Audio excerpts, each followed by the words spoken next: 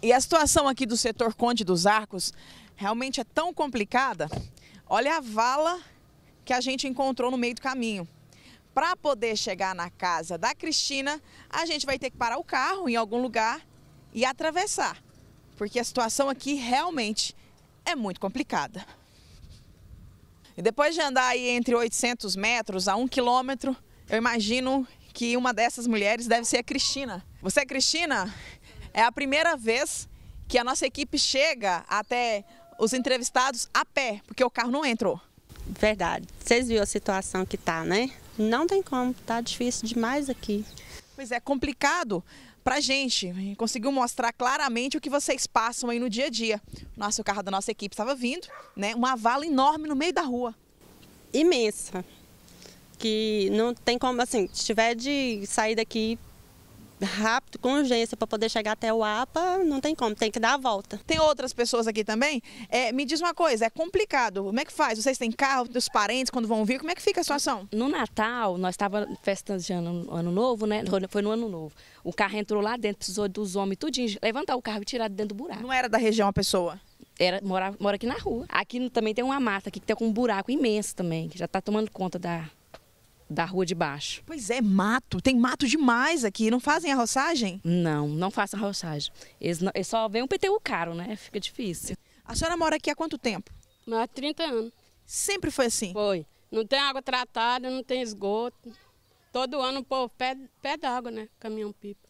Há 30 anos é, morando aqui é, e até hoje esse setor não é, pegou rumo? Nada. Carro-pipa todo dia. É. Como é que é o negócio? Carro-pipa direto aqui. Não tem água. Ah, não tem água? Não, carro-pipa todo ano tem que chamar o carro-pipa para trazer água para todo mundo. Então o que, que vocês estão precisando aqui? Vocês estão precisando de asfalto. Pode... Água tratada, roçar o mato. Segurança. Policial, não passa polícia nada. Vem cá comigo. Gente, a, a gente elas estão rindo, mas assim, eu tô rindo meio de nervoso, né? é.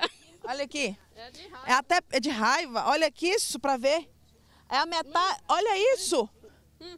A senhora acha que é possível esconder aí? Tranquilamente. É, hum, e tranquilo. Aqui também tem muito ladrão, rouba casa de dia. É? É. Já roubaram a casa da senhora? Na minha não, ali embaixo já. E nem vai, né? É, Deus querendo. Mas olha só a altura desse mato, gente. Tem o que aqui? Uns dois metros e meio de altura? Ah, tem, né?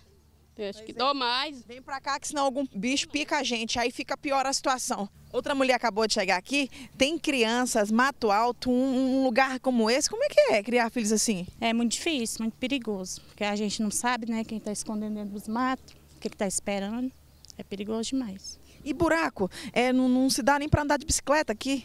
Não, nem de carroça. Carroça também é complicado? Complicado. Não foi preciso andar muito pelo setor para verificar como é que é está a situação de fato. Algumas ruas duas quadras abaixo da rua 7A, onde a Cristina e a maioria dessas mulheres moram, olha a situação que está aqui. Se isso é considerado rua, isso aqui é uma rua, né, Cristina? É uma rua, sim. Olha o asfalto lá. Não, e o asfalto tá bem ali à frente. Por que, que esse asfalto não desceu? Agora, olha isso. Olha o buraco. Olha o buraco. Cabe o quê? Cabe uma casa aí de 10, 10 cômodos? Mais. Olha isso. Dá mais cômodo.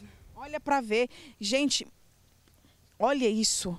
É perigosíssimo. Uma erosão aí, né? A sorte é que não tem casas aqui perto, mas essa é uma rua. É uma rua.